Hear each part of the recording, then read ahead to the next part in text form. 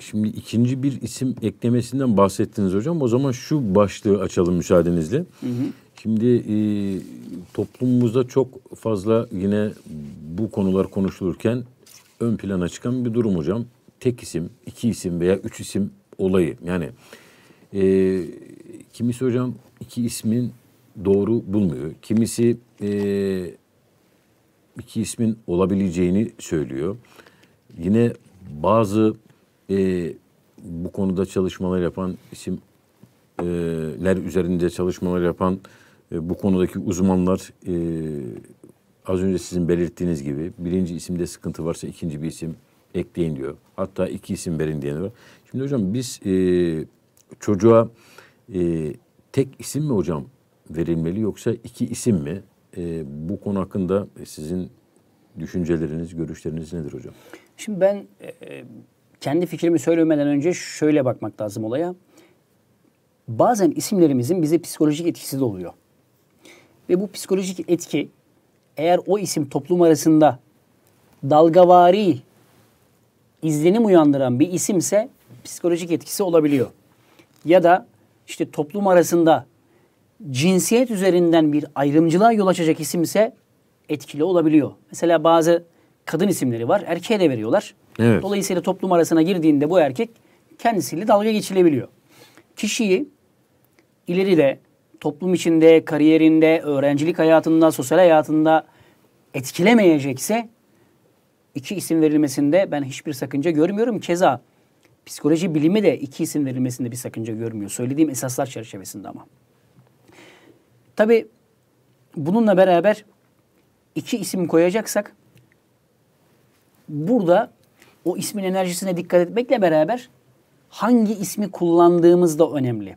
Şayet kalkıp da bir peygamber ismi kullanıyorsak evet. yanına bir de bana göre tabii ki bu benim görüşüm kimseyi bağlamaz. Yanına bir de normal bir isim kullanmalıyız. Yani peygamber vasfı taşımayan bir isim kullanmalıyız. O peygamber ismini de bana göre gizli tutmalıyız. Neden? Çünkü o kadar şu an saçma sapan bir toplumda yaşar hale geldik ki saygı yok, sevgi yok, annesini babasını dövenler. Daha üç gün önce bir tane kadıncağız Instagram'dan e, bana ulaşıyor. Hocam Allah rızası için yardım edin. Bir tane kız evladım var. Gece gündüz nerede ve kimin ne olduğu belli değil. Ve geldiğinde ben para vermesem beni dövüyor. Allah Allah. Yani ne kadar zor bir durum. Maalesef hocam. Allah evladım bile hayırlısını versin. O nedenle bu kişinin bu arada o ablamızın kızın ismi de hayırsız bir isimdi. Söylemeyeyim deşifre olmasın diye. Ee, yani kişinin taşıyacağı isim toplum içinde onu negatif anlamda aşağıya çekmeyecekse kullanılabilir. Biz bana tabi bana göresini anlatıyorum. Peygamber isminin gizli kalma taraftarıyız. Çünkü bu isme yarın büyüme sürecinde o merhalede hakaret edilmesin, saygı duyulsun. Gizlenmesinin tek sebebi budur. Yoksa bir peygamber ismini verip de o kişiye küfür edilmesine sebebiyet veriyorsak bu bir vebaldir diye düşünüyorum. Tabi bununla beraber şunu da söyleyelim. Peygamber Efendimiz sallallahu aleyhi ve sellem döneminde biz iki isim görmüyoruz. Ee, sanıyorum ki 5000'e yakın sahabe ismi vardı. Bu 5000'e yakın bilinen sahabe isimleri arasında e, iki isim yok. Daha sonraları iki isim kullanılmaya başlanmış. Ama ashab-ı kiramın içinde asla biz iki isim görmüyoruz. Fakat dini anlamda da işte pek çok alim iki isim kullanmasının da kullanılmasının da caiz olduğunu söylemiş. Yani dinen de bir beis yok iki isim kullanılmasında. E, seçeceğimiz isim eğer güzel bir isimse e, bu isim işte enerji anlamında pozitif bir enerjiye sahipse tabii ki bence iki isim kullanılmalı. Hatta bence kesinlikle iki isim kullanılmalı. Fakat bu kullanacağımız iki ismin de kişiye güçlük çıkarmaması gerekiyor. Yani böyle abuk subuk isimler verip hem enerjisini düşürüp hem de okunurken abuk subuk isim olmamalı ya da uzun isim olmamalı. Bir de hocam, İleride bu kişiye zorluk çıkarmamalı. Ağır isim olmasın diyorsunuz. Yani e, peygamber isminin yanında herhangi bir peygamberimizin ismini verdiniz. Onun yanında ikinci bir isim de Yani e, e, ağır bir isim olmasın diyorsunuz hocam. Tabii ağır isim olmamalı. Şimdi çok ağır bir isim taşıyoruz. Mesela Hocam benim kafayı karıştırdınız. Ben size geçen hafta da söyledim yani.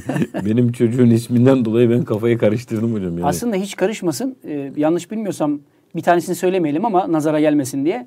Ee, çocuğunun isminin bir tanesi Talha diye biliyorum. Evet. Talha biraz da hafif bir isimdir. Diğer ismin yanında. Dolayısıyla e, Talha ismini kullanabilir. Ama diğer ismini kullanmak biraz ağır enerji olabilir. O nedenle öbür ismi yani Talha ismini kullanması daha doğru olur diye düşünüyorum. Çünkü enerji anlamında ikisi de ağır.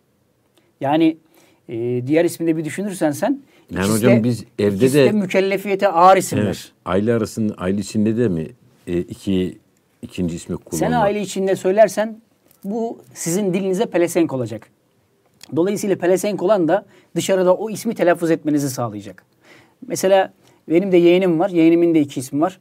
Biz başka bir şey diyoruz. Gelin hanım başka bir şey diyor çocuğa. Dolayısıyla çocuğun da kafası karışıyor. Evet, ben hangi isim, isim benim falan diye çocuğun da kafası karışıyor. O nedenle bir tane isim belirleyip öbür ismi gizli tutup o isimle hitap etmek daha doğru olur diye düşünüyorum. Bir de tabii şey oluyor. Kültür farklılıkları da oluyor toplumlarda. Mesela işte bir Müslümanla bir Hristiyan evlilik yapıyorlar. Daha sonra o Hristiyan işte Müslüman oluyor. Fakat diyor ki çocuk ismi koyacaksak benim kültürümden de bir isim olsun. Evet. Böyle durumlarda da ortak isimler tercih edilse daha doğru olur diye düşünüyorum. Mesela Yusuf, Joseph gibi. Adam, Adam, Adem gibi. Yani ortak isimlerde kullanılırsa e, o ismin enerjisi e, daha doğru olur kanaatindeyim.